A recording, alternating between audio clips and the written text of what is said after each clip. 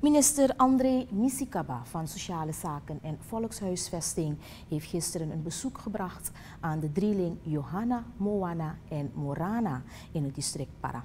Misikaba was eerder uitgenodigd voor de verjaardag van de drieling, maar hij was op die dag verhinderd. De familie Mayoko was bijzonder ingenomen dat de minister hun kroost is komen bezoeken. De kinderen verkeren in goede gezondheid en bruisen van energie.